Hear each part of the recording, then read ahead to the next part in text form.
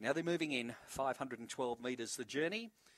Princess Warrior, Compton Fabio. Wider out, Awesome Alpaca, Mapunga Gem, Strike Eagle and Spring Illusion. They're all set for a start. Final event, race 11 Mount Gambier, they're ready and away in racing. Princess Warrior down on the inside, headed early by Awesome Alpaca, and Awesome Alpaca will lead them into the back, railing through on the inside, Spring Illusion.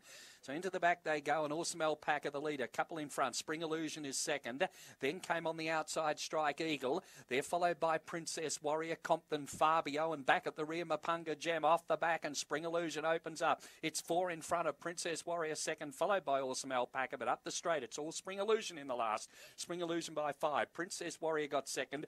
Third went to Mapunga Gem. In behind them then to uh, pull up would have been Awesome Alpaca. Towards the rear of the field, Strike Eagle Compton Fabio stand by for placings after the running of race number 11. The last on the card here today goes by way of number 8 Spring Illusion for trainer Tracy Price, defeating one Princess Warrior. And we'll stand by for third. Around 30 seconds the time. 458, 1744 those sectionals in that race and the race time around 30 seconds. We'll have that confirmed once that number goes into the frame. On the last on the card, it is number eight, Spring Illusion.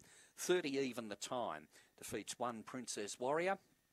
Third has gone to number five, Mapunga Gem. And fourth in in the last has gone to number four, Awesome Alpaca. So eight, one, five, and four on the last. That winner number eight, Spring Illusion. Final event on the program owned by the uh, Board Racing, Manager G Board, Tracy Price, the trainer. Scored easily, five and a half lengths the winning margin. We'll have that margin between second and third flashing back on the board in a moment. 8, 1, 5 and 4. Number 1 getting second there. Princess Warrior for trainer Kevin Quinn. And